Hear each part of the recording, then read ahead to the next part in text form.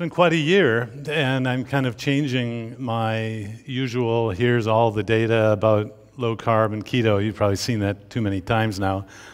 So I'm going to give an update on what this year has, or two years has been like. Um, I see a trend, and you probably do too, that this, what we know as evidence based low carb, high fat, low carb keto, and now internet based keto causing a lot of confusion, and I've learned a lot about that this year. Um, my disclosures I'm an associate professor of medicine at Duke, and I'm a past chairman of the board of the Obesity Medicine Association, the largest group of doctors who treat obesity with medical tools, not, not the surgeons.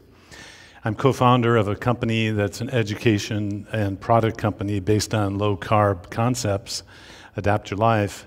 Then I'm a book author and get royalties on three books. And you know, if you write books these days, you realize it's not a way to get out of your practice.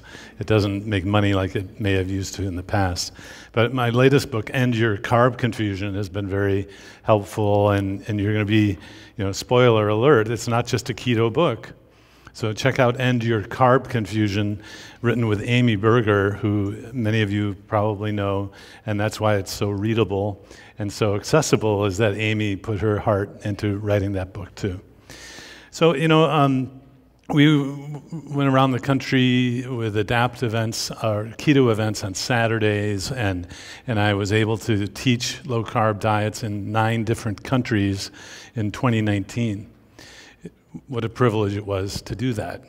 And then when the COVID hit in February, we were just leaving Long Beach at, at an event on Saturday. And I'm in the taxi or Uber going back, and he said, You know, should I make people start wearing masks? I said, I, I don't know. I'm not sure. Uh, but yeah, I probably would make people get in and wear masks. And then I get back to my uh, practice at Durham, in Durham and get back to my home. And there's this box from a friend of mine in Shenzhen, who I've been with several times now teaching. There's actually a hospital that uses low carb diets in China. And there was a box that arrived and it said, You may need these. And it was a bunch of KN95s. And it hit, as we watched New York kind of just go up in flames, uh, my daughters are there. Durham had no masks, had nothing. So there was an army of volunteers who started making masks. There was a, uh, there was a group of people who were out uh, of work from the local Carolina Ballet, which now was totally stopped. They had no, no money, no income. So I worked with the lead uh, at the Carolina Ballet. We started getting doctors to start funneling money to make masks for people who couldn't get masks, which was just about everyone. And one thing led to another. I, I, started seeing all these different masks, and I wondered which ones work, which ones don't work. There, there, was a sock manufacturer down the street who was selling socks for masks. And you could just go like this, and you see right through them. And you know, it was like, really? So I call up, you know, the Duke University physics department, and you know, everyone's off, everyone's on shutdown, and, the uh, PhD answers the phone because there was no administrator at work. And I said, you know, I saw this New England Journal mask uh, laser study. it was like so obvious, so simple. I mean, you, why do you put your hand in front of your face when you have a cough? Right, to maybe stop the cough from coming out. So I, saw this letter in the New England Journal uh, where you just put a cloth in front of your face and the, the particles coming out are blocked by a laser. So the physicist says, Well, yeah, we have a laser expert. His name's Martin Fischer. And yeah, I'll get him on the phone. Everything's locked down, and so he cobbled together this laser kind of MacGyver thing where you, you would be in front of a box and you could speak into the box and you could see the spittle come out in the box with laser coming this way. I was sitting in the basement of the physics department at Duke when everything was locked down, being a participant in this study that basically said putting something over your face stops stuff from coming out. Is it really that simple? I think this is kind of my recurring theme that things can be simple, things don't have to be complicated. So we took the, the 10 types of masks that we were vetting for use now in the underserved populations, the nursing homes, the, the, the people, people who had nothing to cover their faces with, and we put them in front of our speaking voice, in front of this box with a laser beam going across. And sure enough, putting something in front of your face stops spittle from coming out of your mouth and getting into this box. This was done in March ish, and by the fall, what? Do you remember this controversy? That masks don't work. And oh, you know, you can you go back hundred years and cloth masks were being used. So Mar- uh, Martin, you know, we can't get anyone really to help out with the study. Everything's locked down. So he gets his daughter Emma to come in and help work on the. You know, we didn't have to worry about spreading the disease. Low cost measurement of face mask efficacy for filtering expelled droplets during speech. Basically, you put an N95 over your, your face, it blocks part. Well, I guess the main thing is that when you speak, stuff comes out of your mouth. And so, for those of you who have been around today, it's not that I'm worried about you or me, or me, I'm worried about you. I might be talking and giving you something. And what's amazing is um, Bill Nye, the science guy, did a TikTok on this, basically showing how well masks work. But what we did is we wrapped a little science around Bill Nye, the science guy's TikTok. And um, what was fascinating is that, yeah, you, you go like this, you blow through things, they get a little worse. And then if you use a, a sock in front of your face, it does nothing. You know, um, so by the fall, by the time this got published, it went around the world five times. In fact, I may be known now as the Gator study, Duke mask study doctor over a, a keto doctor. Because this study, if you've ever seen the Science Metrics, is the 37th most cited article ever, in, ever since this has been collected as a metric. And did you see something just came out of my mouth? Um, so um, if you wonder if I think masks work, yeah, I stood in front of a box in the bottom of a physics department and saw stuff come out of my mouth in front of a laser beam. We went to the local Museum of Life and Science, and they came up with a little. Well, we can do it with a, a flashlight and, and a mister, and it's to show how lasers work. And so, um, if you don't want to spread or inhale things that are in the air, put a mask on, okay? So, meanwhile, back to low carb diets. Um, simple things work, huh? So, low carbs and obesity, low carb diets started in the 1860s William Banting, not related to the Banting who worked on insulin, different Banting, um, started talking about low carb diets for obesity.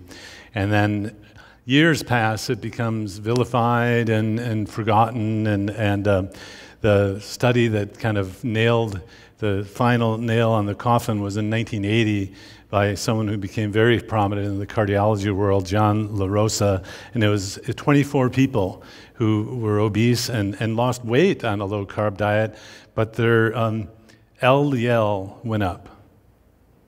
Significant increases occurred in LDL.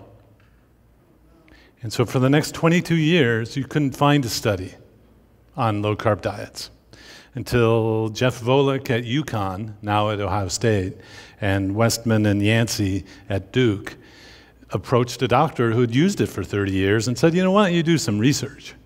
And he said, okay. You know, and the story I heard later is they were really kind of shocked. An academic, let alone two academics, came and wanted to do research. They weren't researchers, and everyone thought they were crazy. And now uh, Dr. Agatston and I are looking at each other saying, Dr. Atkins was, was right. And, um, but that's after 20 well, for me, it took 10 years to kind of figure it out. I'm a slow learner. and now it's 20 years later. But so what I've been able to do is really put the science around something that had been around for you know 100 years before, something that now makes sense in terms of carbohydrates and insulin, and kind of worked out all the mechanisms. But uh, the randomized trials that were done in the early 2000s were all comparing low carb and low fat and now, you know, there's so many studies that there are studies of studies being done, and this just pulls out the main data tables from all of these randomized controlled trials.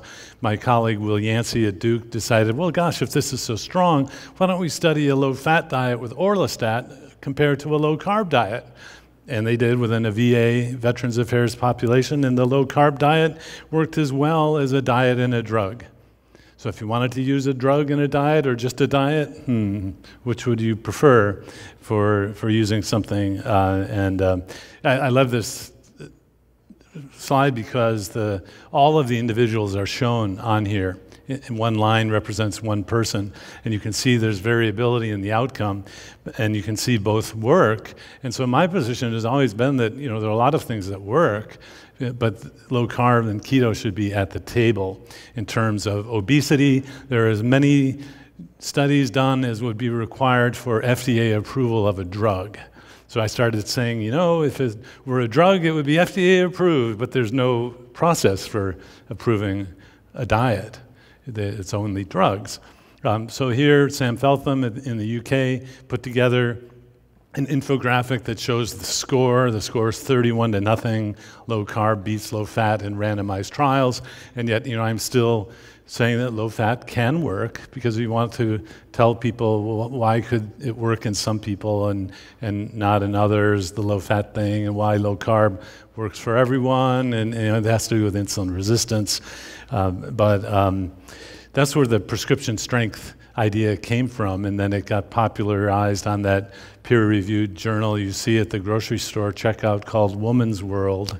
Um, and I, my picture's photoshopped on there, but um, the prescription strength keto kind of came out this year, um, and which is one of the things I've been, you know, teaching this a long time. Things started changing, and oh, right, and we got low carb diets into the the algorithm and um, guideline of the Obesity Medicine Association.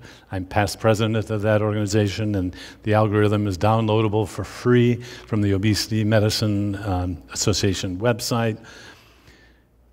Turning to diabetes, kind of a similar story. 100 years ago, low carb diets is all doctors had to treat diabetes, and it worked pretty well.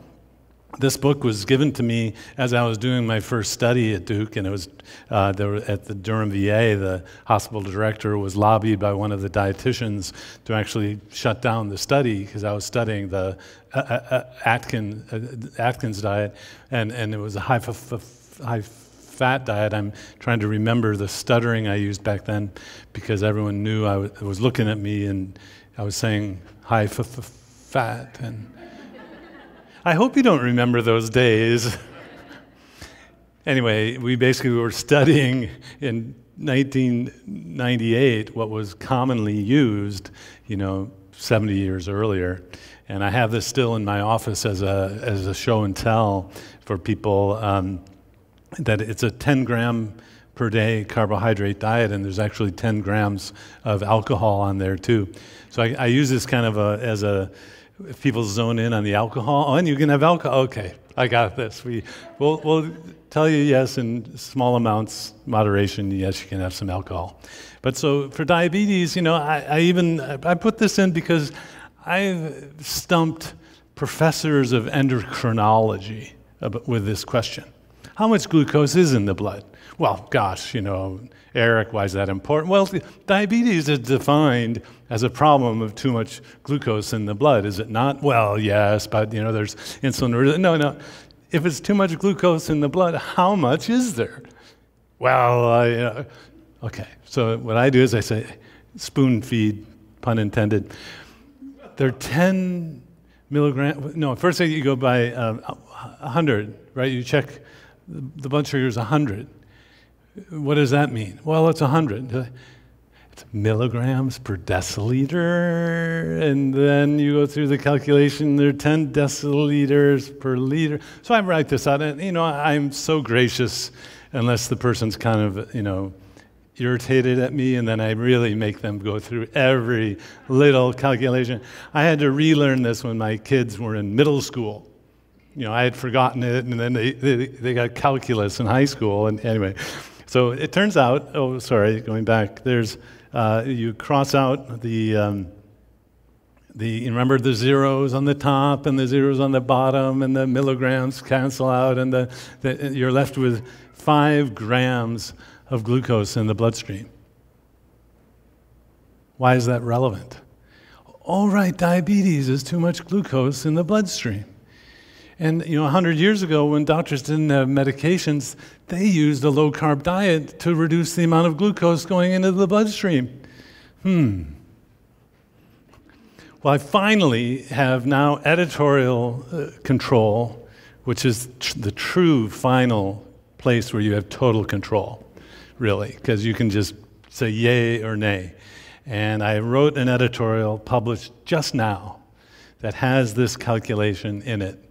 So it's in the peer reviewed journals now to show how much glucose is in the blood. In fact, during the, the peer review process, it was, I was accused of just putting something that was obvious, and, and this is in all the textbooks. So, you know, I went to the library and I pulled the three most popular endocrinology textbooks and excerpted everything about diabetes in there, and there wasn't this. So the editor who was in charge of the editing of my editorial was convinced, okay, I mean, he showed data that it's really not in the, in the uh, textbooks yet. we want to get it in the textbooks. And it's relevant because diabetes is a problem of too much glucose in the blood. So, anyway, um, can it really be that simple?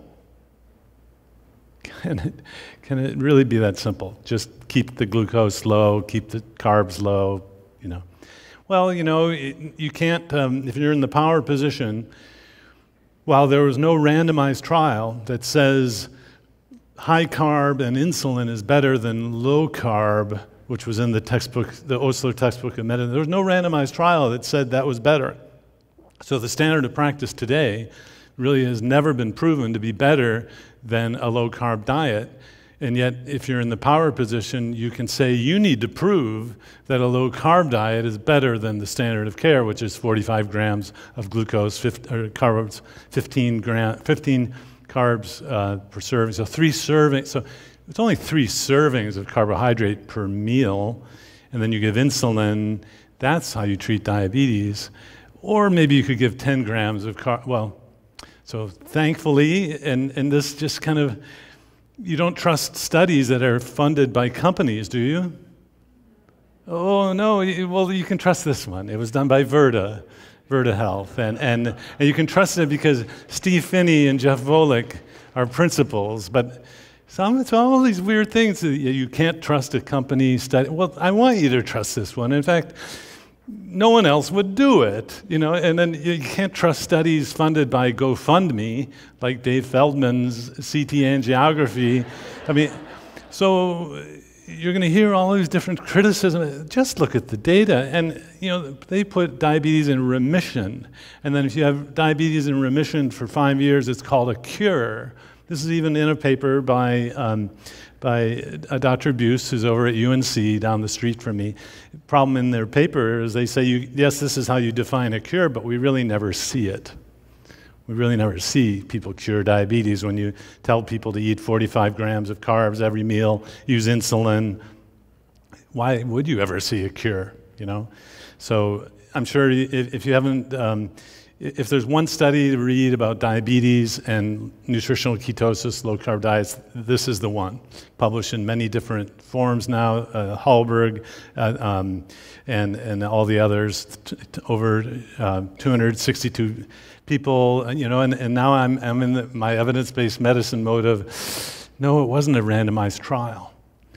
But you don't need a randomized trial to prove that something that's never happened happens.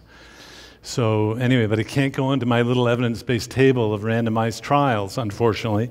It's still in the, you know, um, non randomized group, but no one else has been able to achieve this level of diabetes remission. And it's a pioneering study thanks to Virta Health, Steve Phinney, and Jeff Volek. Um, yeah. You know, but even before uh, that pub- study was published, uh, my colleague Will Yancey at Duke, who's been involved with me for uh, ever since the beginning uh, of studying low carb diets, positioned himself to be on the American Diabetes Association panel of nutrition. And he tells the story that you need to hear someday of how he got the low carb diet into the guideline, which was in, in part of the a paper basically saying low carb diets are okay to use you know, with medical monitoring for diabetes. And this has been very influential because the dietitian world is very um, much um, driven by guidelines that come out from the American Diabetes, Diabetes Association. But now there has been this paper as a, a, kind of cover for you to use low carb diets for diabetes, um, which you know is really just recreating what was used 100 years before. Kind of got through all of this 50 years of noise and distraction, and now we're back to a way to lower the blood glucose. And, and if you know if you have five grams of glucose, um, a medical student recently, you know, he said, "Why is that relevant?" I said, "Well, how many carbs are in an apple?" And he said, Well, I don't know. Oh gosh, now we have to teach everyone about nutrition and apples. And no, you don't. Just you know, tell them a list of foods that don't have carbs. They'll be fine. In fact, uh, Mark Cucuzzella is here. Thank you for contributing to a little pamphlet of nutrition guide through Guidelines Central that can help you or a practitioner deprescribe medicine on low carb diet. Um, so now we're, we're actually teaching people how to do this um, that was done 100 years ago by, you know. but there's not to worry. There's still something to be worried. It can't be that simple, right? I mean, there has to be worry. Oh, but, you know, I'm sensed today that I tell people not to worry, but there are other practitioners who like to tell people to worry. You know, I, I, I'm a, I like to relieve anxiety about things, not create it. So, when, when this uh, figure came out, it was brilliant. I'd like to know how it was created. Bhanpuri is the first author. Uh, this is the Virta Health data set showing basically all of the parameters that were measured uh, about um, metabolism in the Virta Health study when, while diabetes is getting fixed. And oh, yeah, they lost weight too. Um, everything is better except the LDL. Of course, this is the surface LDL, the Friedewald equation, the, the calculated LDL. And of course, um, so everything goes in the direction you want except that one thing. So, and, and you notice if you're new here, we talk a lot about this, and you know, a lot of doctors only focus on that.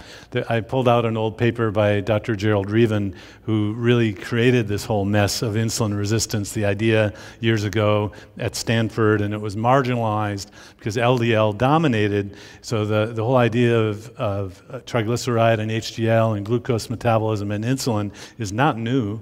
Uh, although Jeff Volek has published now many papers uh, since that time, um, we don't focus on the LDL. We focus on the triglyceride and HDL, the abdominal circumference, the blood pressure, um, and blood glucose. That's called the metabolic syndrome. But also, you want to focus on uh, whether someone's smoking, uh, other factors, not just that you know LDL. Well, Reaven published a paper in the 1980s called uh, something to the effect of seeing the world through LDL co- colored glasses. And it was so for, you know, propitious, it was like, uh, you know, he could see the future, basically, that not only then was it becoming so LDL focused, but even today. So remember, keto addresses insulin resistance and the metabolic syndrome, and uh, not so much to worry about the LDL in total. It's, so the way I explain it is that's the old way. Yeah, yeah, yeah, but that's the old way. So I'll cover up that on the computer screen. The new way, see the triglyceride and HDL over time. Oh, yeah, it's getting better. Yeah. So you can, you can look at this um, on your own panels. Uh, you can do the NMR lipoprofiles and recent paper said that the insulin resistance score from the NMR low profile was better than anything else. That was a paper uh, by Dugani et al. Uh, from this earlier this year.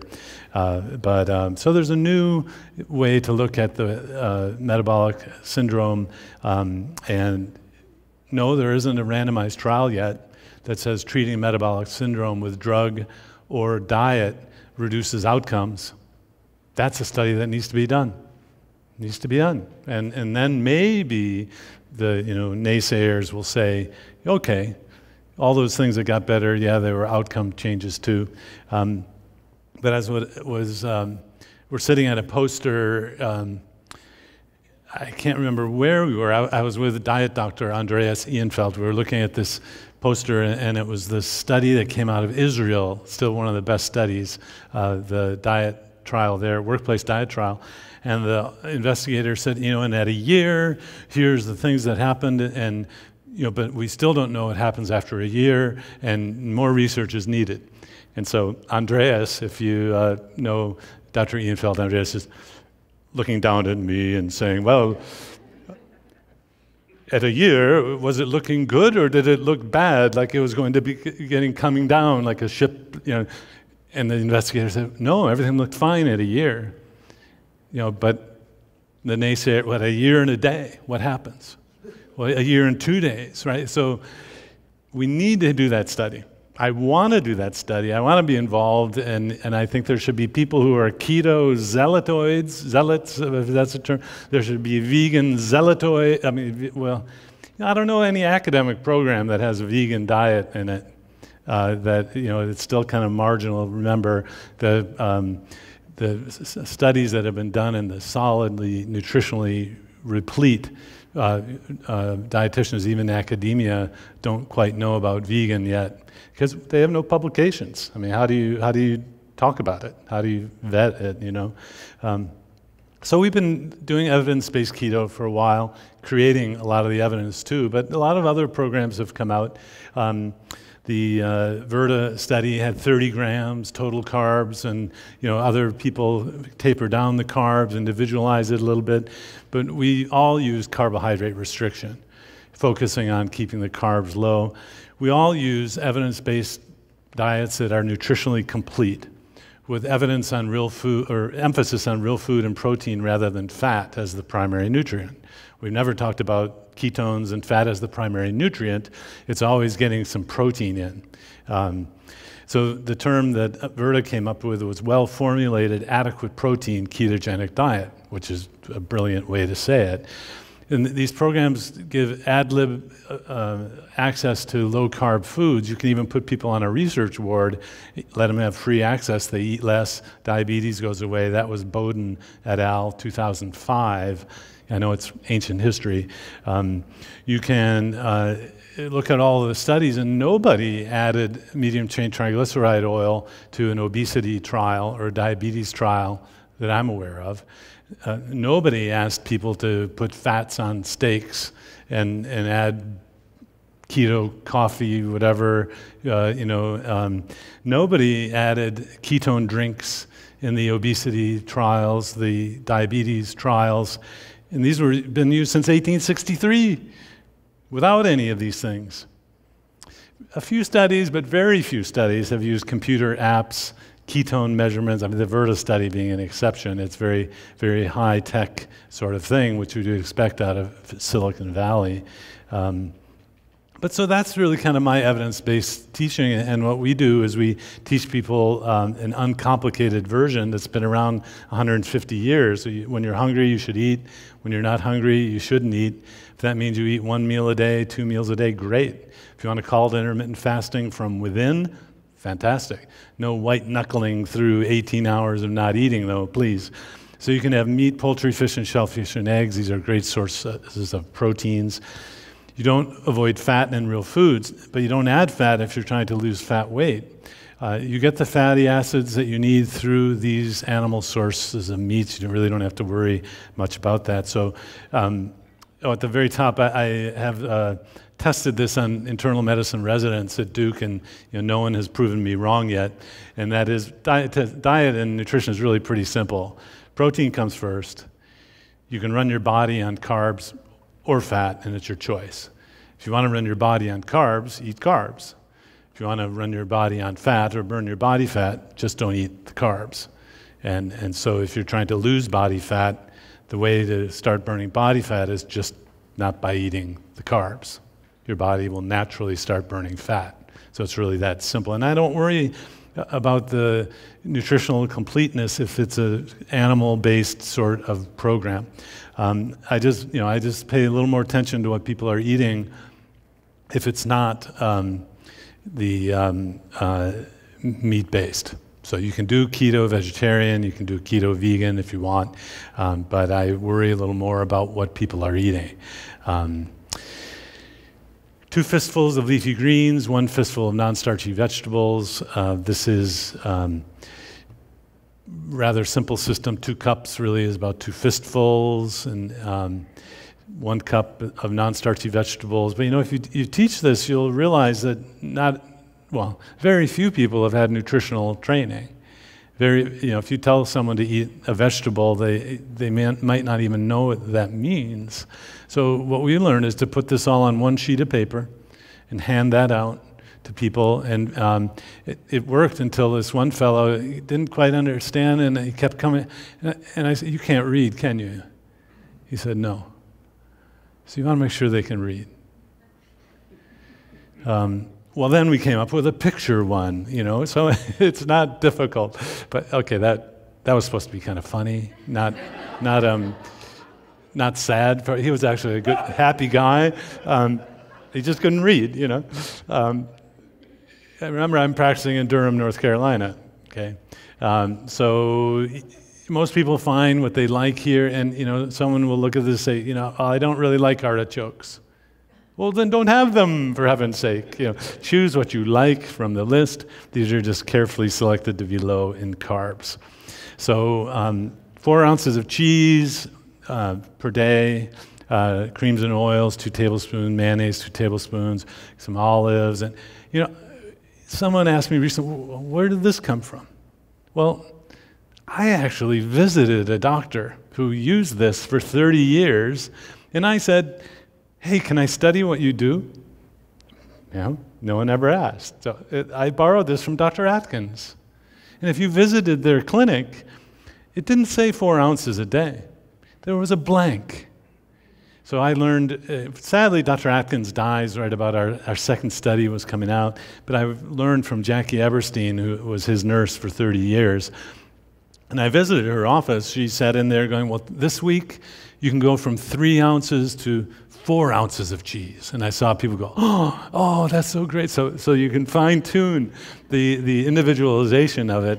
Uh, and, uh, and, you know, you can go from five olives to six olives this week. Oh, thank you so much. And so, so um, so we kind of, uh, I don't know how to say it, mass produced the, the list and put down some numbers to start with. Um, and then, of course, what, what's really kind of interesting and, and strange but nutritionally okay is that you can have sugar free jello and pork rinds pretty much as much as you want. Uh, if you don't know what a pork rind is, that's a chicharrones and I, I, chicharrone, I, I, have my best chicharrone ever. It's really, it was pork belly in Colombia. I'm teaching this in Cartagena, and um, and I, I asked uh, people, and I was told there's a three-second delay because it takes more words in Spanish to say things. So in, my English was being translated into Spanish, and, and I said, to "How many of you love pork rinds?" Thousand one, thousand. Oh, all the, all the hands go up. So it has no carbs. Uh, so anyway. Um, this is the uncomplicated keto that we've been using. We studied it, we use it, and I've treated thousands of people, including people with medical issues. My background as an internist, and you know, I have to say, a general internist at an academic center meant we felt we could take care of everyone.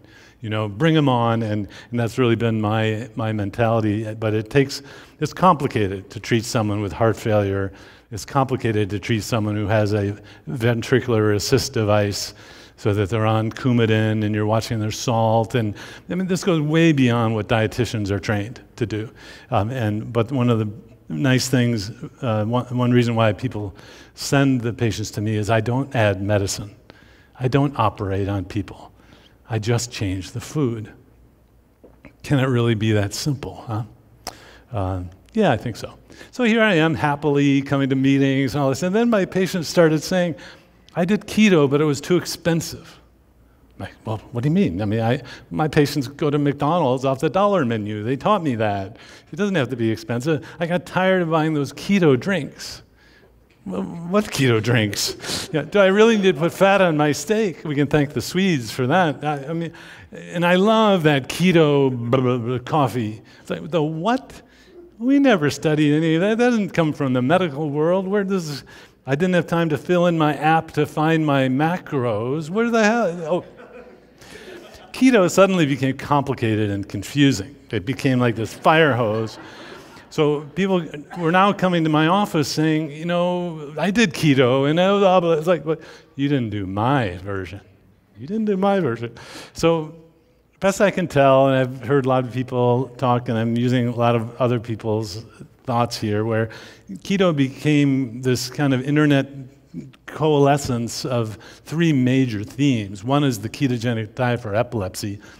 You're going to see dietitians make this faux, you know, false step in in the media. I mean, it's embarrassing that they don't know that they, oh, the ketogenic diet for epilepsy has to be very strict and every ketone and the macros every meal. That's not what we're talking about. Not for, for this type of weight loss and for diabetes. Paleo and primal, suddenly people said you had to have grass-fed beef and, you know, butter that's from, you know, I don't know. Uh, uh and uh, where did this come from? So what we knew was based on carbohydrate restriction, using total carbs, not net carbs, but suddenly there's this explosion of information. So last year, one of the pivotal pivots we did uh, as a uh, company, the, this is, you know, everyone's got their side hustle, right? And even academics have to have that. There's not much, anyway, I won't go into that. So our goal was to improve people's uh, health and information, to, to get the, um, what we were doing in the clinic to scale it up so other people could use it. And, and I have to thank everyone who tried to help with the clinic based venture I was on. Many of you contributed to that. I thank you for that. Sadly, that had its demise uh, pre COVID, actually. The company didn't make it. But uh, so the Adapt Life Academy is a digital class without seeing people.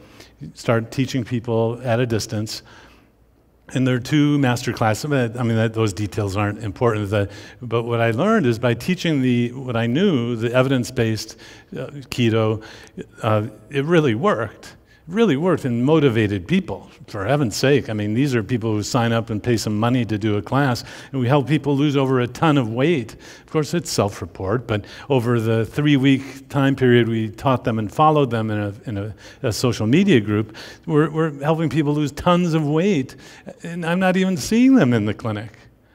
It's pretty amazing. So what we did is we surveyed. The, uh, I thought, well, how can I get some information about this? Um, and 75% uh, of the people had been on keto already. 25% were beginners. So most people had some experience. 94% said they learned something new from our class. When I thought what we did was old, right? So anyway, the new keto information, the keto entree into doing this. Um, led me to the top 10 misconceptions about how to do an evidence based keto diet. So, are you ready for the top 10 list? So, number 10, my apologies to, to Dorian and Keto Mojo. Um, uh, measuring ketones was required. No, it's not required. But everyone thought you had to measure ketones. Well, it's on the top 10 list of one thing we told them they didn't have to measure macro calculation was required, people thought. No, you don't need to monitor macros if you just follow this list. And actually, it confused people because the macro would say you need to eat more protein or you haven't had enough calories today. Instead of listening to your body, you're listening to some sort of some some sort of um, uh, uh, prediction prediction of what you should have. There was a false belief that medium chain triglyceride oils were required that this is what keto was. And it got so distorted. One patient came to me thinking that just drinking apple cider vinegar was what keto was. And he said, Well, it's great because I'm not hungry. And I said, Well, are you eating anything? No, I'm just having apple cider vinegar. Well, if it's that strong, then we need to know, we need to study that in the context of a weight loss program because that's not safe. So you, you can get distorted in, in having, it's protein that comes first, not apple cider vinegar. Okay? And uh, so people came to me saying, Well, I, how long do I have to fast? So I, where did this come from? Well, I need the autophagy. And I, so actually, fat burning is called fasting. Fasting is fat burning. You're getting the same benefits from, okay, I haven't proven this yet. It's my hunch that you're getting the same benefits from a fat burning when you're not eating and fat burning when you're eating. So we call this fed fasting. That goes way back to Cahill and, and Ollie Owen, who came to the first Brooklyn conference that Richard Feinman put on, and they, they called a low carb keto diet fed fasting as a description of the metabolic process going on. Number six, nuts, nut flours, and nut butters are okay. Uh, if you've never heard of a trigger food, trigger foods are foods that you eat and you can't stop eating them. So we say no nuts, no almond flour, no peanut butter. And there's, while there's maybe an initial, ah, people are happy when they come back. So take away the nuts. Vegetables are unlimited. Well, no, remember there's a limit on the vegetables and leafy greens because they have carbs. So the first thing is to keep the carbs low. Protein comes first, keep the carbs low. So a lot of people said, remember, this is a survey we did. These are the top 10 things that were different from what they were doing before. So, net carbs uh, is keto, and this is where I bring in the over the counter versus prescription strength keto. It's not right or wrong, uh, but it's going to be stronger if you use total carbs. So, net carbs is just a way to eat more carbs, so to speak. So, if you're um, if your metabolism requires that you need to be really, really strict, if you have diabetes, metabolic syndrome, 200 pounds to lose, you want to be sure to use total carbs, not net carbs. Um, and look at the total carb on the label, not net carbs on the front. So artificial, artificial sweeteners were forbidden, many people thought. No, no, most people can use them and, and lose weight just fine, fix diabetes, lose fine. What about all these other side effects? No, I mean, they're relatively minor or non existent. Again, I, I, don't like to fear monger. I want to take away fear and anxiety about these things. Getting to the top two items that people said they learned from you know, internet keto, misinformation to what we taught. Um, expensive clean food was required. And um, this is where that, oh, it's so expensive to go to those stores or get all the, this stuff. No, you don't have to have these things. Now, it's great if you want to use your food dollar to change the world and change the food environment, how it's delivered, and then great, do this. But in, in Durham, North Carolina, it makes it impossible to use a low carb diet if you require this. I mean, in 95% of my patients. I need to meet them where they are uh, in a, a, clinic like I'm in. So, number one, mistake, misinformation. Number one thing that people were doing, learning this on the, the, internet, that they felt really was the change that made it work for them in our program, was too much cheese, fats, oils. So if you remember in the little handout, it said cheese four ounces a day cream, cheese, uh, oils. There was a limit on it. Today, many people get the idea that because it has zero carbs, you can have as much as you want. Well, technically, if that's if you're if you're buying a, uh, a book that comes off the shelf, it isn't clinic tested. Remember, I went to a program that had already used this for 30 years. Yeah, I cheated. I, I didn't come up with this. I, I just studied it. And so they learned early on now as I talked to them that they had to put a limit on the cheese, fats, oils because there's so many calories in there. This becomes actually a diet that uh, won't work for weight loss. And actually, one of the other things I did over the past couple of years, 18 months, is I guest edited a couple journals and I pulled in some really interesting work from individuals Sam Feltham, at, in the, who had that infographic, did an N of one study. You may have seen it on the internet where he overconsumed. He ate 5,800 calories of three different diets for 21 days each, with three months in between. It was like he did this on his study. He never put it together formally. So I helped him put together this, and actually he gained weight on a keto diet at 5,800 calories per day but he didn't gain as much as he gained on a high carb, same calorie level. So the diet had, works differently. Well, it's only one person, but the difference was, was large, you know. And so, um, yes, you can overconsume cheese, fats, and oils. Sorry about that. And that was the number one thing that people learned coming into our class. So just to kind of wrap up, um, evidence-based keto has been around a long time. Well, before studies done, and it's based on, you know, keeping the carbs low, getting protein coming first. Uh, so it's safe and effective when it's done right. Keto works for just about everyone. I have to say, I mean, you put people on a research ward, give them access to the food, it works great, 100%. You get motivated people who come to a digital masterclass, and I mean, it, that, it's overwhelming. You know, I, I've been in a clinic with one person at a time seeing results. I now am on calls where there are 300 people getting this kind of result at the same time you know, highly motivated. They're actually doing it. Uh, and then just be very careful about products that uh, say great for keto diets. Right now, the, the uh, manufacturers are coming out. I don't know who's advising them, honestly, because you got these weird, maybe low carb and lots of these other sweeteners that um, one of them actually made my ketones go up and, and my glucose stay the same, but it was at the expense of 300 calories. So until these are studied in the context of a weight loss program or a diabetes program, you really don't know how they're going to play out in terms of the consumption of the food over the, the entire course of the day. So that's where you know you want to be careful using those things. I don't say don't use them, just don't expect it to work automatically. Then of course, if medical conditions are present, you have to have monitoring, or unless someone knows what they're doing in terms of the medication, sure. But um, that's, that's what keeps me up at night. It's the, did I really make it clear to this person that he needed to check his insulin before taking, needed to check his glucose before taking insulin every time? I was with a student recently in the clinic and, and I asked the patient in front of the student, now what does insulin do? Uh, if the blood sugar is 100, which is 6 millimole, blood sugar is 100 and you take insulin, what's going to happen? Well, I looked at the student, and the student looked at me with shock. And afterwards, we debriefed and said, you know, doctors might have trained this person or someone trained this person on what insulin does, but clearly the person didn't know.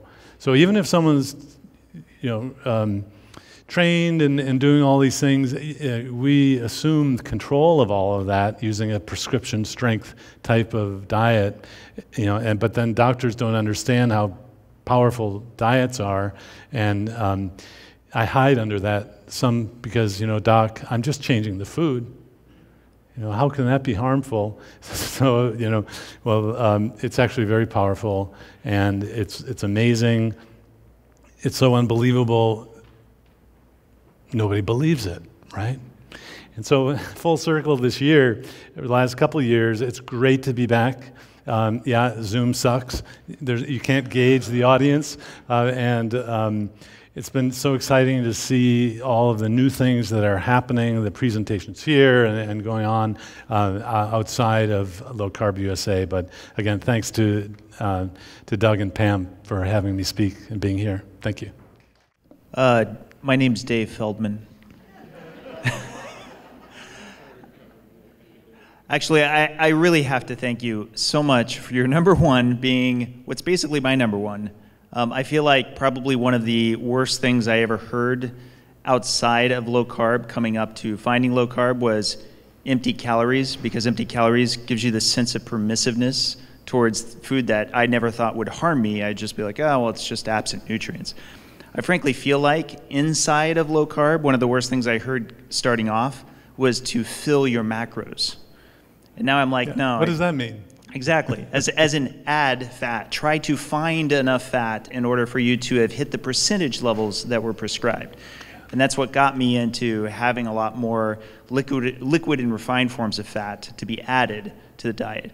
And ironically, that was one of the first things that I found when getting into lipids is actually one of the best little indicators is fasting triglycerides because fasting triglycerides being high was one of the things that I noticed would be a lot more common if I was having a surprisingly large amount of liquid and refined forms of fat and how it would kind of sneak in. So I, I definitely think it's something that unfortunately a lot of people feel exactly the way that you described it, that you could just have unlimited fat.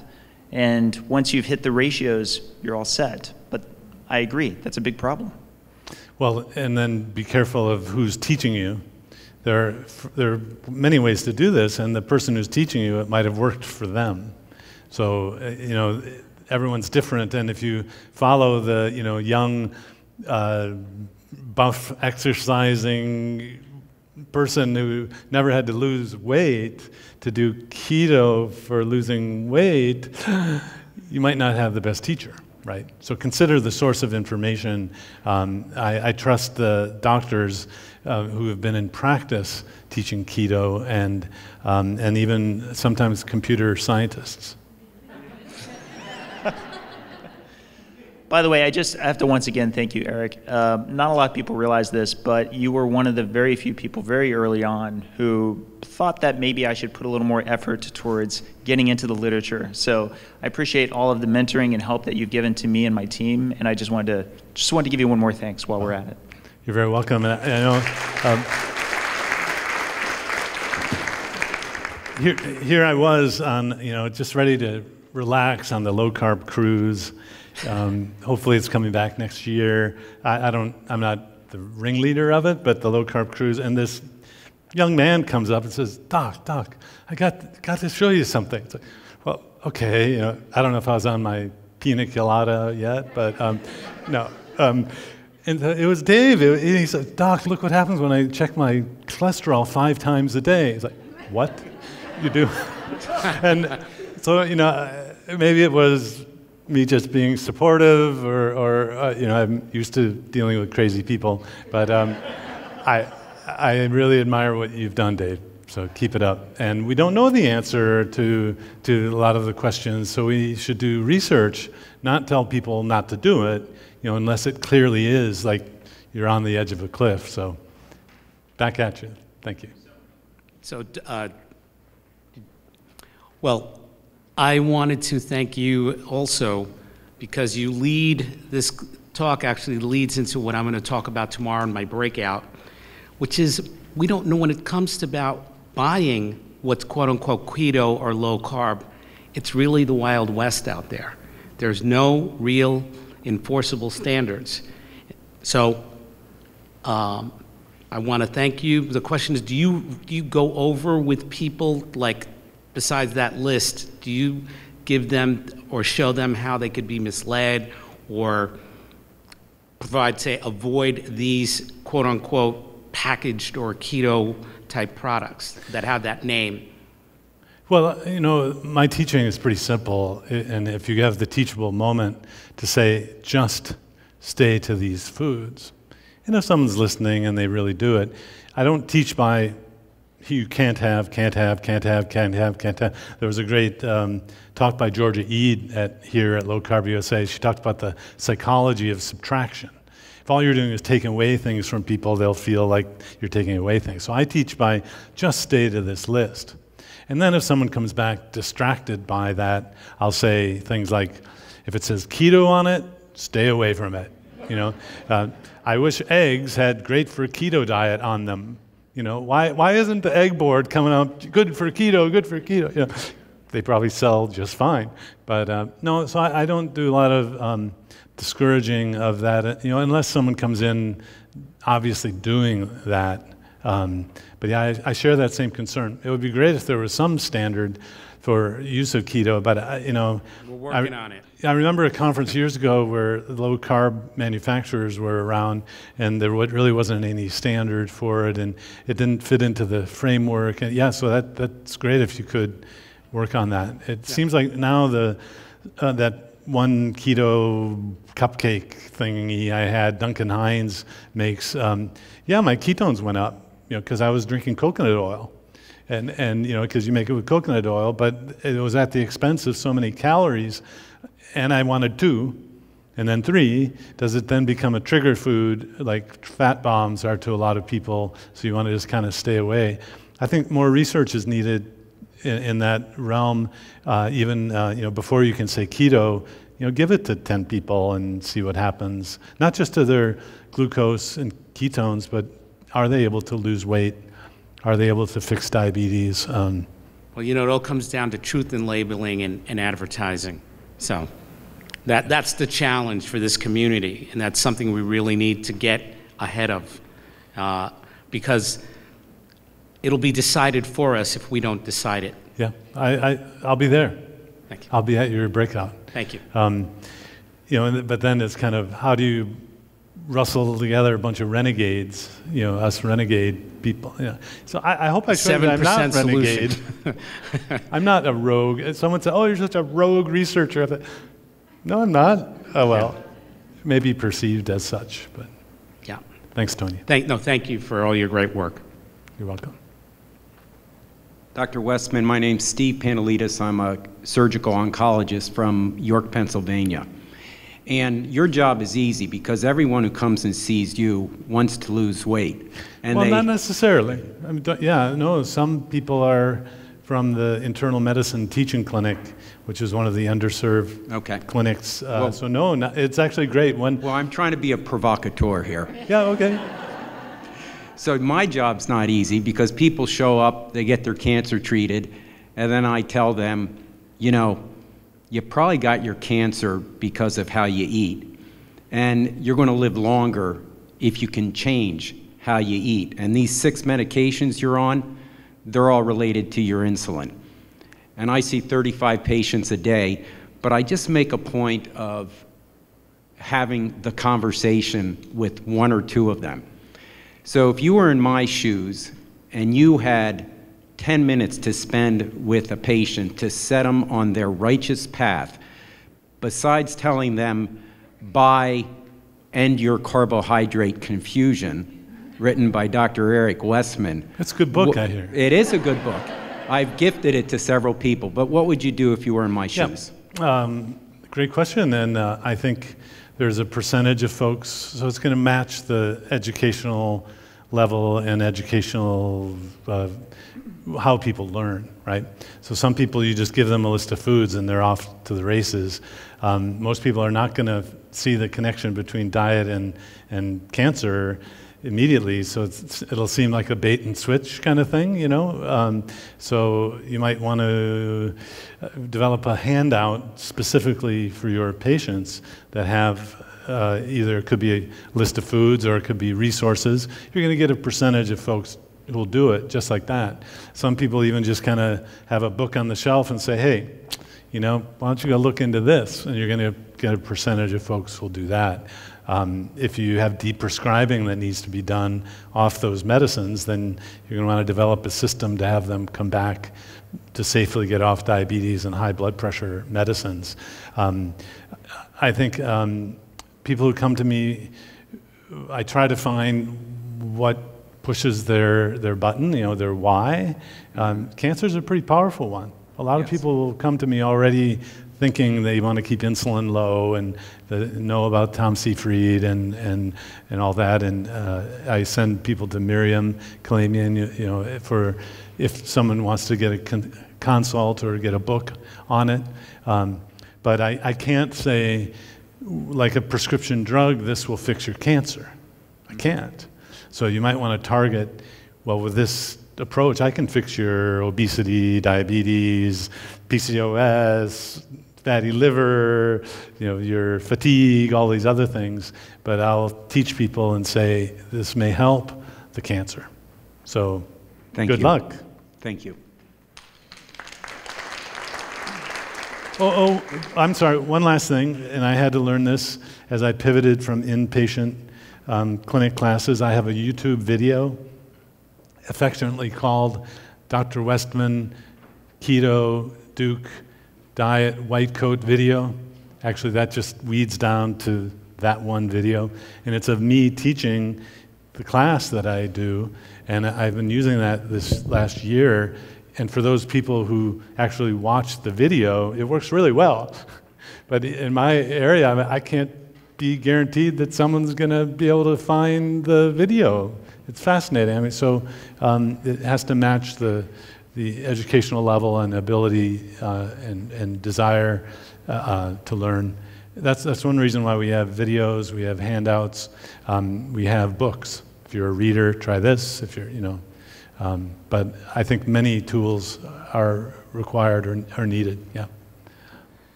Hi, I'm a pharmacist. Sorry, don't throw anything at me. Um, but I work under a scope of practice managing diabetes, and so I try to encourage my patients as often as possible to take this low carb approach as much as I can without getting fired or in trouble from the other disciplines. Um, but a lot of time I tell patients you can get off your medicines for your blood sugar, and it blows their mind when you give them a simple overview.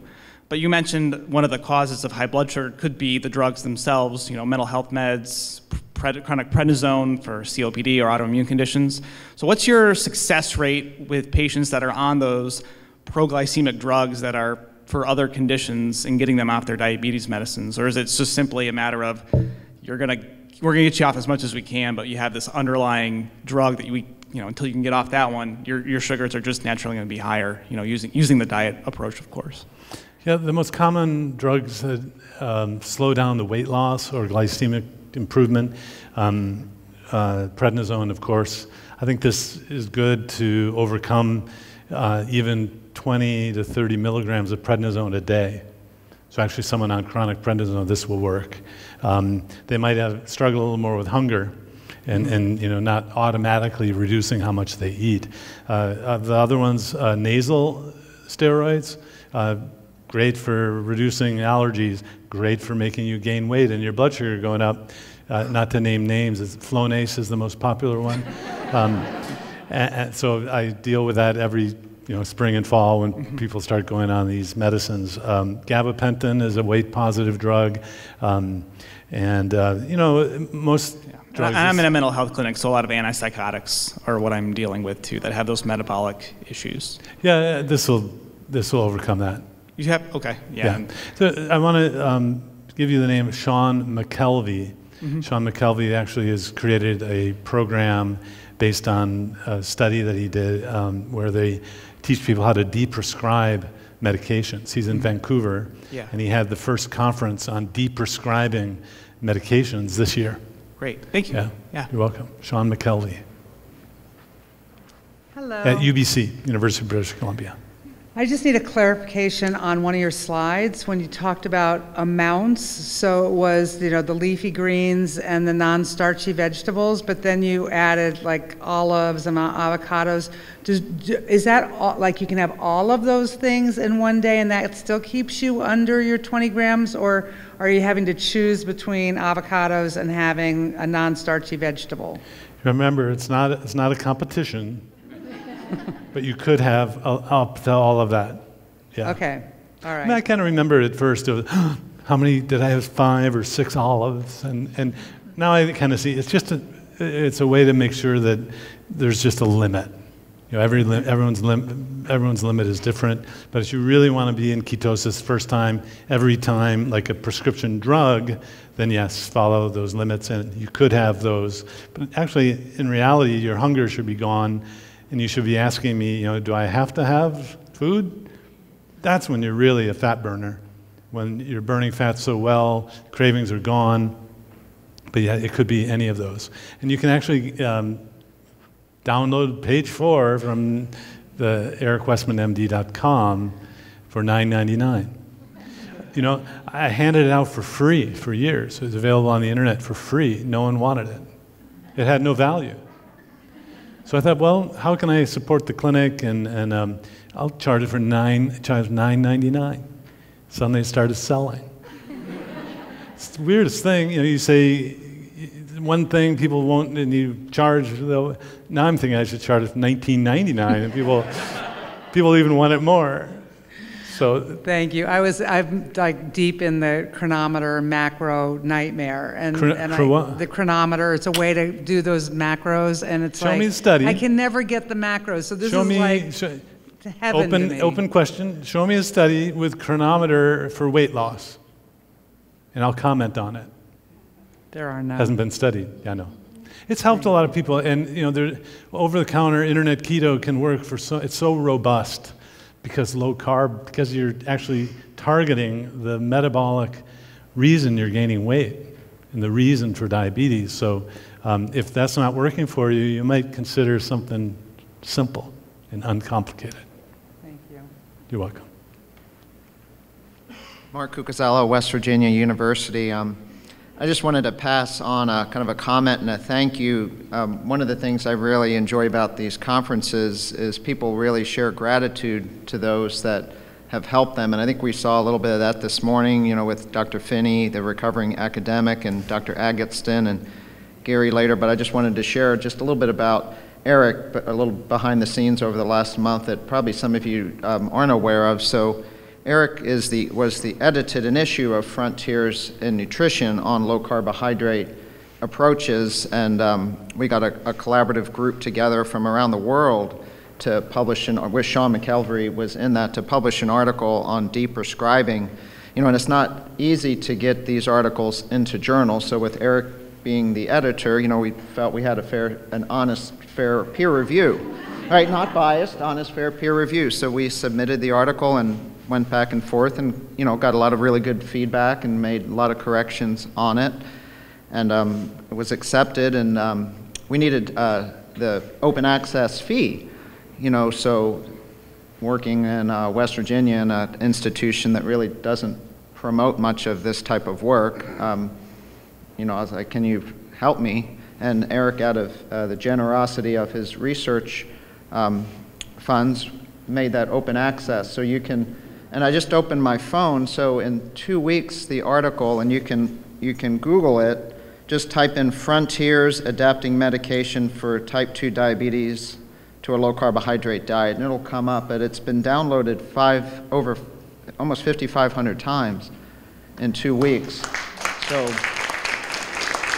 we're, we're getting this out, you know, kind of in the underworlds with kind of a, you know, get high with a little help from, from my friends. And, uh, but he's also, I think, you know, so, so many people in this room have, have mentored, you know, kind of entry level, you know, Dave Feldman, you know, entry level researchers, you know, so, um, you know, plant a seed and give it some space and let the seed grow to fill the space. So I think if, you know, Chris Palmer's he- here from Harvard, so I think, you know, all of us as we go forward, we'll try to encourage, you know, young writers and young academics to do little projects and these little projects can grow. But just want to pass on that gratitude. I think we wouldn't be in this room here together if not for Eric's work. You know, D- Doug's conferences wouldn't exist. you know, we wouldn't have the credibility. But, but that's all. But uh, you know, thank you, Eric. Well, and thank you.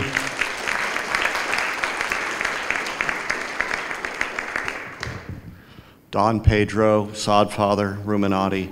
Um, thank you again.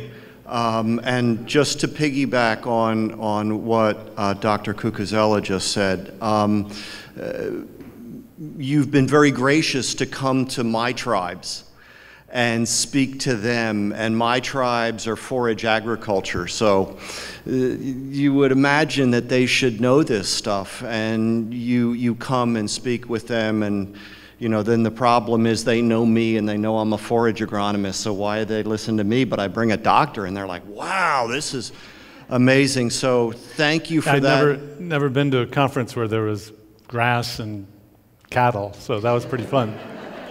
I'm certainly willing to help broaden your horizons.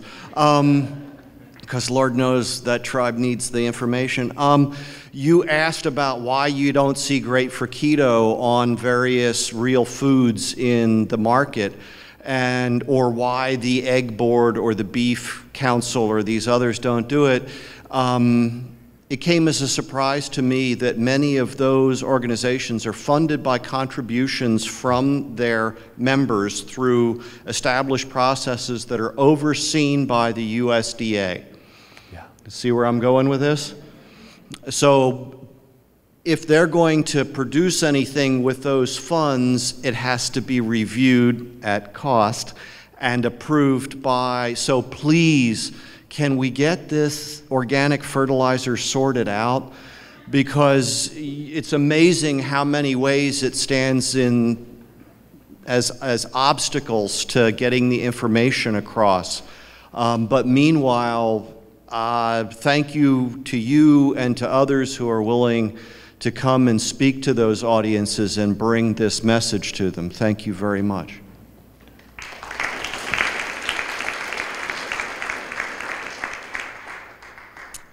Thank you, Dr. Westman. Um, I have a question about uh, type 2 diabetes, and I've been reading uh, studies that suggest that even among patients who don't lose weight, that their metabolic markers improve radically. And I'm wondering if you could just comment on that. I found that a fascinating result. I wouldn't have expected it. Really? Yeah. Well, I mean, isn't the kind of the gold standard your type 2 diabetes or you're obese, you need oh, no, not everyone with type 2 diabetes is obese. Remember, it's, a, it's defined by an elevated blood glucose, elevated blood sugar, not obesity. So most time, I don't know, 80, 90% is associated with obesity, but um, no, you can actually, in fact, that, that was Tro, Dr. Tro Kalayjian's mission to do a case series showing that he could fix diabetes without weight loss. And that was one of the articles in the guest, uh, the journal I guest edited. Um, so look up Kalayjian uh, and its frontiers in nutrition, like the uh, study. Uh, but um, no, it makes sense to me because if you have five grams of glucose in the entire bloodstream and you're eating 150, 200 grams of glucose or sugar, carbs, which, you know, the, the student came to me and said, Well, that's milk. I said, Yeah, but that's sugar. He said, No, it's not. I said, Well, okay. I said, It's carbohydrates. And then we, I said, Google it. And he looked up, you know, milk, galactose, it's glucose lactose, glucose, and galactose. Gluc- it's sugar. Oh, but maybe half of it. So, so I don't split those hairs. Why not just say you can't have that? You know, uh, so keep the carbs super low. You're reducing the contribution not only to blood glucose, but I think the downstream effects of insulin is what you want to try to protect against. And then I didn't get into it at all today, but in terms of longevity, the, lots of different science to say organisms of all different types live longer if the insulin is lower. Now, it doesn't say that they were, didn't eat carbs to make the insulin lower. It's, however, the, uh, these are organisms to the level of a, of a C. elegans worm. You lower the insulin, it lives longer. So, why wouldn't you have other effects besides just fixing diabetes and it's not always with obesity. Yeah. Well, I'm grateful for that. Thank you. Yeah. Welcome. Okay, I need some criticism, please. I'm not. No criticism. I can't take all of this loving. I'm nine hours jet lagged, so I'm not a nice guy today. I apologize for that. But um, let me have it. You and I have had a lot of interaction over a long period of time, and, and a lot of people forget that Eric is one of the authors of the new Atkins book. 2012, I think it was, um, and have a long history with Atkins. One of the greatest challenges I find in my rookie patients is they are so proud when they come in saying that they're eating three Atkins bars a day and they're drinking the Atkins shakes. And, uh, you know, one of the greatest challenges for us is, and, and why we struggle, is we can't monetize the space. Everybody else monetizes this, but you can't monetize something where you're not selling stuff because people don't need stuff. They need food. Um, here, so, buy my, don't eat this. Exactly right. buy my little empty bag of nothing here because I'm fasting. It's, uh, but the cha- really, you can give us some insight into number one, what happened with Atkins? What, what ha- why is that, has that name been so pimped out? And secondly, um, what do you do in your practice? How do you handle that, all those Atkins products? Because they really are the enemy, in, I believe, in part of what we're doing. And then, just because there's nobody behind me, a separate question. Can you hold, hold that question in yeah, your head? Yeah. Because I won't be able to hold no, it that's in fine. That's fine. So, the products is an easy way. You just look at total carbs, not the net carb thing. So just turn the label to total carbs and follow that standard 20 for the day, and that'll get rid of the, any of the Atkins products that uh, the shakes. Some people can drink a shake, or I, I, even teach have a swig of a shake, Atkins or Pure Protein or whatever. Is there South Beach shake, Doctor? Uh, he left. So anyway, um, uh, look at total carbs, not net, and that's going to control all of these other sorts of products. Um, but if you drink one swig of a Atkins shake, I calculate out it's half a gram of carbs. Now, so yeah, early on, if someone's like, "How am I going to get chocolate?" I work through the. Here's some ways to get chocolate, and uh, depending on your metabolism, you don't have to get Lily's and I mean whatever brand is marketed as keto. If you like that, you can. And I don't like dark chocolate. So if someone comes in, oh, and I'm doing keto and I'm doing dark chocolate, and I say, do you like it? It well, no. You're like, well how long are you going to continue to do that, right? So total carbs. Uh, and then, you know, the Atkins company, when I knew it years ago, I don't consult with them anymore. Um, it seemed like they shifted to a healthy eating, sort of uh, not a therapeutic weight loss doctor program anymore. Um, and they made some decisions to up the carbs. And I think it's been helpful for a lot of people, but not for those who need to be super low and to become keto. It does, it destroys it quickly. You know, um, of course, yes, if you cut the 20 gram bar into four, that means five per, but who's just going to eat? Well, but I freeze it and I just have one. Okay, great. I mean, so I'm pretty um, uh, allowing for lots of variations as long as it's working for someone. But a lot of times it doesn't when you're eating those sorts of things. Great. And uh, the second question is, and I think Gary Taubes is going to be here in a little bit. Um, I wrote back and forth with him a little bit ago about this, is that if people are not willing to believe all the negative studies out there with regards to low fat diets, and there's several of major studies, millions of dollars worth of studies that have shown that the low fat diets really are not as effective as we want them to be. And yet, in defense of those low fat diets, the folks that believe in them distort the reality of those studies to continue to believe them. And we're sitting here saying, we must do these studies, we must do these studies. Why is positive evidence going to be treated any way differently than negative evidence, which they don't want to change their mind. In other words, it's a mindset issue, not an evidence issue. I, if you notice, I don't give a lot of evidence in my work because I can find evidence probably to say that if you stand on your head for four hours a day, you'll lose a ton of weight uh, and your diabetes will go away. So because you're not eating. Because you know right exactly.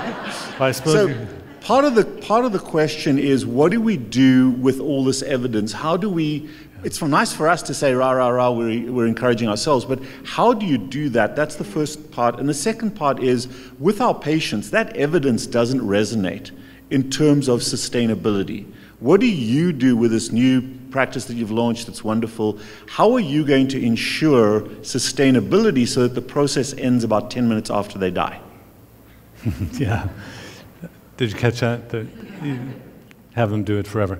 Well, um, there are a lot of ways to support people, and you know, like many of you, you, you may not have had support, so there are going to be a percentage of folks who just do it and maintain it, come to conferences like this. Um, people who end up in my office usually are the, you know, they're the tough folks who need the hand holding, need maybe recurring appointments. I set up a Facebook group now that has over 20,000 people for free. It's all admin volunteers who are doing it, former patients of mine. Um, the for, uh, Forepay Adapt Your Life company, by popular demand, now has a payment membership that we provide service for. Uh, we had Gary Taubes speak to the members. We have all sorts of, you know, like friends of not mine come and speak, but it's only, it's exclusive. I mean, it's, you know, 20 bucks a month for that kind of support, but you don't have all of the noise of that Facebook group that's open to everybody and there are admins that aren't paid. You know, you don't get the kind of service that you get. But I think for, relatively inexpensively, you can support people at least until they get it down so well. Um, Dr. Sue Wolver, who came to my office and started a practice in um, Richmond, Virginia, at VCU, uh, kind of explains it this way. There, you know, there's some people. It's like teaching them to ride a bike. Once they get it, they, they're on their way and they don't need the teacher anymore. In fact, I'll never forget the look in my child's eyes when they learn to ride a bike and they say, See ya, Dad. You know, it's, it's freedom. Uh, but then there are people kind of like playing piano to learn an instrument. You need to do it every day. You need, at first, you need to be, focus every day, and if you don't practice perfectly, it's okay. You, you know you're going to be doing this every day. And so I think it really depends on the individual. Um, I, have kind of given up on the, um, the saber rattling at um, the national level or guidelines and kind of, in my mind, think of Nina Teicholz and the Nutrition Coalition as a group that has some, just like your slide where we're, we're sand all separate, getting into groups that have lobbying power will help, I think, in the long run. Of course, it, it, it takes longer than you ever think, but um, uh, so some people need the help, others don't. The carb addicts uh, may need to zoom in. Uh, all, I, am not sure if you're still doing that, uh, Dr. Ifland, but may need to have constant contact with other people to get them off the sugar. The sugar, because you know, sugar's everywhere. You know, it's I thought it was hard to help people quit smoking. That was my prior career, and it, it was. But then we started having drugs and all this. So I, I think of the sugar free things as getting people off of sugar addiction, at least at first. Um, and I, am not, I don't have any problem using those. So all these different tools, all these different um, places where people are coming from, uh, kind of tailors the support, in, in my view. I mean, that really is the greatest challenge is sustainability. Thank you.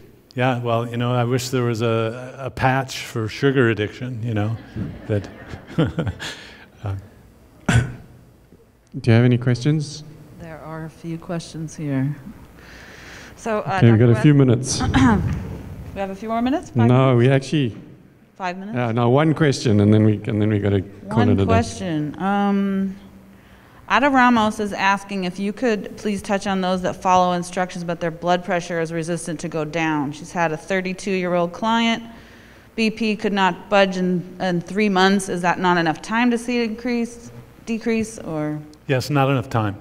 So, uh, of all of the medicines or processes that get better in a clinical setting, I've treated people who have diabetes, high blood pressure, all these other problems all at the same time the diabetes medicines need to be deprescribed quickly, often cutting them in half on the first day or, or even stopping them. And my, I have a new world record now for me. Dr. Unwin did this once. You know, well, how much insulin did you get someone off? It's the world record, and I think I am now at the top. I'll have to ask David about that. But um, this person came off 600 units of insulin in three weeks and, and, she monitored at home and knew how to take it take it off. So you know now that there's regular strength insulin, now there's a double strength insulin and a triple strength. There's actually a five times strength insulin. So no worries, we don't have enough skin to inject it in. We'll just make it more concentrated. So that's the uh, the path of eat anything you want, and we'll just treat you with drugs. Uh, so blood pressure is, is, different. It takes longer. Um, in fact, if it's related to insulin resistance, then it, you might not fix the blood pressure until someone's almost at their weight loss goal. But I do recommend home monitoring for blood sugar, blood glucose, and blood pressure, um, and help people interpret that. Um, because the blood pressure may go low between visits if you see someone every month, for example. But I, so don't don't give up yet. Great, thank you. All right, thanks. That was awesome. Thank you.